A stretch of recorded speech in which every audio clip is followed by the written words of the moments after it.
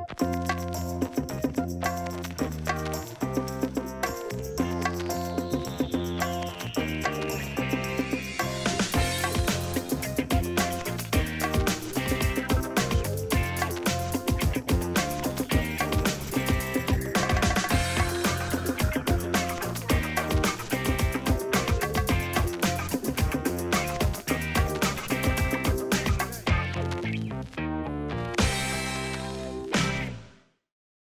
Теперь от оптимистичной части перейдем к несколько пессимистичной части. Вот вы работаете в найме, что вас ждет ближайшее, там, условно, где-то в digital, что вас ждет в ближайшее время. Если сейчас ситуация не изменится, то, конечно, надо рассчитывать на то, что в ближайшие полгода вас ждут следующие вещи. Вас ждут сокращения кого-то, кого-то ждут задержки по зарплате, если это, мы говорим о рекламном рынке. Если вы работаете при госсекторе, например, там, при Государственном музее при прочем, то, конечно, этого не будет, но, собственно, практически никого не ждет повышение зарплаты, а с учетом роста курса доллара и евро, то фактически у нас у всех зарплата понижается, даже если она не понижается. А, к чему это, собственно? А, сокращать прежде всего будут не вас сокращать будут, что называется, усталых бездельников. Вот это люди, я думаю, что если вы работаете, вы а, отлично их знаете в ваших компаниях, особенно в таких digital-компаниях. Это, это такие люди за, а, за 40, а, которые не стали вот совсем звездами, что называется, за вас имя продает, а вы уже можете ничего не сделать, но которые, в общем, все время находятся в таком состоянии, ну что-то я делаю, но с другой стороны, ой, да это не получится, ой, да это мы 500 тысяч раз сделали, ой, да это не пошло, при этом их зарплата, собственно, идет там от 10 тысяч долларов и выше. Вот от них компания будет избавляться первое – Соответственно, конечно, она никого новых на эти места брать не будет. Она просто сейчас временно будет зачеркивать эти места. Но потенциально эта ниша в компаниях остается. Им все равно нужны эти люди. Для вас это лифт. В чем была ваша главная проблема? В последние годы почему-то, кстати, рос рынок стартапов. Он рос не на деньгах, он рос на ментальном ощущении. На том, что у нас не было лифтов профессиональных. То есть ваша карьера, вот вы куда-то пришли, и если там кто-то вас не отметил, там как-то там за руку не стал тянуть, то вы там погрязли в какой-нибудь там большой компании, никто никогда вас не вспомнит, если вы вдруг случайно не сделаете какой-нибудь подвиг. Да? А, я именно о карьерной истории. Так вот, соответственно, сейчас убирая этих людей, о вас будут вспоминать. Каким образом использовать этот шанс? Этот шанс использовать примерно так же, как в собственном деле. На самом деле это время предлагать новые решения – новые каналы. Ну поймите еще раз, самое важное, вы должны предлагать не серии «Я вижу новый канал, он прекрасный, замечательный». Вы должны все обосновывать в рамках экономической эффективности. Если ваш работодатель совершенно справедливо говорит, слушай, мы не можем это сделать, а, ну, потому что вот у нас сейчас вообще нет никаких ресурсов, ну, самое время посмотреть на сторону, всегда есть кто-то, кто это может реализовать. Или если, собственно, у вас есть, собственно, там мужество и силы, реализуйте это сами. А, теперь о некоторых вещах, какие профессии наиболее подвержены будут кризису, какие наименее. Ну, журналистов уже всех протрясло. Впереди на самом деле еще потрясет. Прежде всего потрясет телевизионный рынок, который трясло меньше всех. Но, в общем, нашу журналистику медиа уже перетряхнула таким образом, что, в общем, наверное, печатникам и интернетчикам бояться нечего, потому что все, что было, все уже вытрясли. Да? Хуже не будет, хуже не бывает. Вот. А, не будут расти зарплаты. А, ну, собственно, и вся история сейчас карьеры журналиста – это история про компромиссы. Что для вас важнее? То есть, на самом деле, я безоценочная, не готова тут судить. Если вы готовы играть в историю, работать в истории больших государственных СМИ с определенным углом э, зрения на ситуацию, то там сейчас будут как раз очень большие бюджеты. Но вы, наверное, знаете там о России сегодня, о прочих вещах. Там большая потребность в кадрах. И там, собственно, можно вырастать. Если у вас другой угол зрения, то, к сожалению, сейчас э, вакансий маленьких очень много, но с деньгами будет плохо. То есть это вопрос вот вашего личного компромисса, да, там, насколько, что для вас важно и какой у вас угол зрения. С точки зрения э, рекламного рынка, прежде всего, соответственно, очень плохо придется аккаунтам. То есть если вы аккаунт, постарайтесь, собственно, перейти в какую-то более такую не поддерживающую продающую часть. А кому всегда хорошо, всегда хорошо всем продажам. А, кого сильно еще потрясет? Еще очень сильно потрясет радио и очень сильно потрясет наружную рекламу. Вот если вы работаете в наружной рекламе, постарайтесь перейти в интернет. Интернет вообще сейчас та зона, где трясти будет минимально. Почему? Потому что есть довольно много денег, есть довольно много IPO-шных компаний, компании постоянно что-то покупают, команды смотрят, у, у, везде куча вакансий, постарайтесь перейти туда. То есть если вы работаете в наружной наружной рекламе, постарайтесь там не остаться. А, по поводу там еще каких-то вещей, а, значит, ну, собственно, теперь о технологии.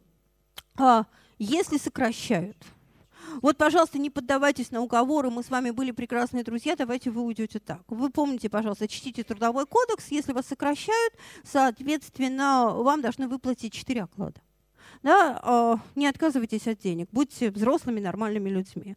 Если вас просто просят уйти, типа я тебя уволю, запомните, уволить человека очень непросто. На самом деле, с точки зрения того, чтобы вот так вот просто уволить человека, вас должны доказать вашу профессиональную некомпетентность. Для этого за три месяца до того, как э, вам ее должны доказать, по всей компании, не конкретно по вам, а либо по подразделению, либо по всей компании, должна быть проведена профессиональная аттестация вы за три месяца до начала профессиональной аттестации все, причем не лично вы, а все, должны получить уведомление о том, что через такое-то время проводится профессиональная аттестация. Должна быть аттестационная комиссия, там довольно большие процедуры, поэтому тоже, в общем, довольно сложно. А, если вас переводят на неполный рабочий день, тут смотрите, на самом деле это формально тоже вы можете отказаться, и никто не может настоять, потому что это фактически ухудшение ваших условий труда, и в результате, собственно, это делается только добровольно, если вы сами пишете заявление. Решайте, насколько вам нужна, дорога эта компания, то есть если вы в нее верите, если вы ей преданы, что очень хорошо, то вполне возможно вы попробуете ей помочь перейти на неполный рабочий день, на неполную рабочую неделю, на частичное уменьшение зарплаты для того, чтобы, собственно, решить, там, помочь решить э, проблемы компании вместе с вами. Если же э, ну, нет такой какой-то преданности, помните, что все это можно сделать только добровольно. Это значит о технологии. Куда переходить? Прежде всего, сейчас точка роста большая – это интернет. А, интернет во всех его проявлениях, причем не уменьшилось, ну то есть уменьшилось, но не критично количество, в том числе и вакансий зарубежных компаний, ищущих у нас специалистов. Очень сильно ищет Booking.com, очень серьезно ищет Airbnb, очень много, а, собственно, ищет Баду, которая традиционно выросла ну, из России, поэтому им близки. А, постоянно, собственно, несмотря на, на какие-то внутренние сокращения, забирает людей Microsoft к себе э, туда, забирает Google. Ну, то есть практически все большие компании в том или ином виде постоянно ресечат людей. Там все очень просто. На самом деле вы посылаете, смотрите, вы посылаете заявку, вы заходите на сайт этих компаний, вы оставляете по форме заполненное э, резюме и объяснение, почему вы хотите работать на этой позиции – и вам приходит просто автоматический ответ робот, там, типа, здрасте, нам очень приятно, э, спасибо вам большое. А, не расстраивайтесь, что вам пришел только робот, вы попали в базу данных. Даже если сейчас нет таких вакансий, в отличие от российских компаний, западные компании очень грамотно работают с вашими резюме, вам вполне могут позвонить через полгода и через год на тему того, что мы ищем такого человека. Ну и плюс просто постоянно мониторьте, действительно эти вакансии бывают постоянно мониторите, мониторить это лучше всего через сайт этих компаний, конечно, через LinkedIn. Нигде в другом месте полноценно этого нет. Вообще интернет будет развиваться, будет развиваться очень много. То есть сейчас переформатируются все основные порталы. Там большие изменения и огромная востребованность молодых людей. Это первая точка роста. Вторая точка роста – это урбанистика и все, что связано со сферой культуры, как я уже говорила, а, как на уровне города, так и на уровне страны. И третья точка роста – это зона развлечений. Это кинотеатры, это большие праздники, это большие ивенты, это вот три точки роста, которые вы должны запомнить, и в которые, собственно, если вы находитесь в точках критических, а это прежде всего в рекламе, говорю, это все, что БТЛ и наружка, это радио, а, ну, в общем, медиа уже в меньшей степени, но еще немножко потрясет. То есть переходить надо туда. При переходе вы должны понимать, что вы в среднем потеряете в зарплате обычно, да, при переходе из отрасли в отрасли, я имею в виду, а, в зарплате не растут, а теряют. Теряют где-то порядка 15%. Так вот, но этого не бойтесь, потому что это даже в кризис наверстывается, если вы нормальный профессионал, наверстывается в первые полгода. То есть через полгода вам это, собственно, прибавит снова. Поэтому вот этого бояться не надо. А, чего, собственно, в кризис делать не надо? В кризис не надо бояться.